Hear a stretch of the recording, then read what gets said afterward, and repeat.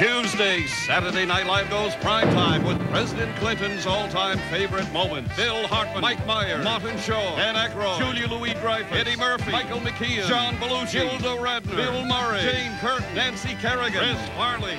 It's Saturday Night Live in prime time, Tuesday at 8, 7 Central.